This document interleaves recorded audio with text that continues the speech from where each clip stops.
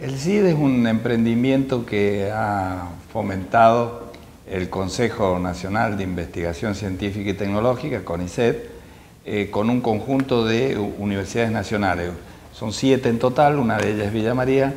y es un centro de lo que se llama eh, dependencia compartida o doble dependencia, o sea, depende de la universidad y de CONICET.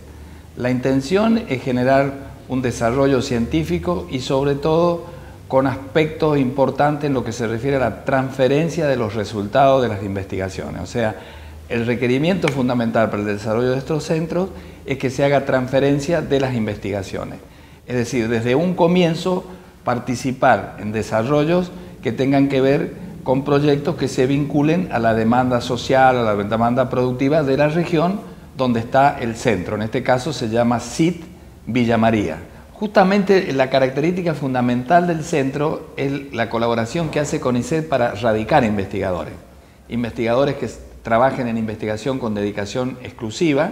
tienen que entrar en la carrera del investigador o deben ser becarios de, CONICET y que vivan en el lugar donde se desarrollan esas investigaciones. O sea, por eso hablo que el eje del centro es la radicación de investigadores. Para ello, nosotros hemos tenido que definir en conjunto con CONICET, y lo vamos ampliando a medida que pasa el tiempo,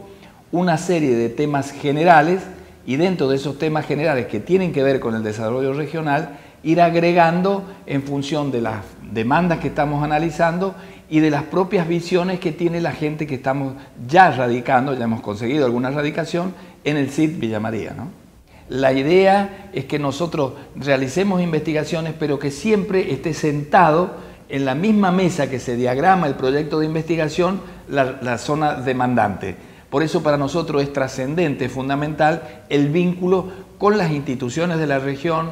con el aparato socioproductivo, ponemos mucho énfasis en el desarrollo de los pequeños y medianos productores, la gente que tiene más dificultad y que requiere, junto con el desarrollo científico, tecnológico y las ofertas y las posibilidades que están habiendo en el Ministerio de Ciencia, en el Ministerio de Agricultura, en la Secretaría de Políticas Universitarias, en el Ministerio de la Industria, de hacer proyectos, eh, proyectos asociativos, con formación de clúster y con un conjunto de investigadores que miren la investigación con, un pie puesto en la demanda o en qué hacer con los resultados de sus investigaciones.